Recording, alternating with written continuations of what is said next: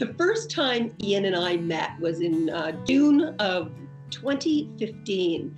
And sadly, my mom had just died a couple of weeks before, and I was invited to go to the Moonlight Gala, which was a big fundraiser at the McMichael Gallery, a great Canadian gallery outside of Toronto. And I really didn't want to go because my mom had just died. And if I had to put on a little black dress once more all by myself, I, I really didn't want to go. But my best friend, Penny, talked me into it. So we hired a limo. We went to the Moonlight Gala. We got there, she started running around and doing God knows what. And I was there all by myself, feeling a little dejected. And all of a sudden, I saw this really cute guy walking back and forth, a guy with a little gray goatee. And I thought, hmm, he's cute.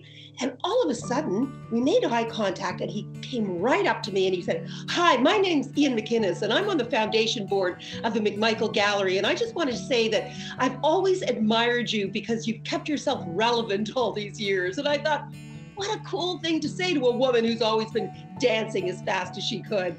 And I was just in love with this guy from the minute he got up to me. I'm telling you, it sounds bizarre, but it's true. The chemistry that night between us, the sparks just flew, and uh, we cozied up together by the end of the night. That was it. It felt like we were a couple. It was amazing, but it really was a lesson in keeping the faith because I was 63 years old before I met him. And you just have to wait for the stars to align because uh, love happens sometimes just like that love at first sight.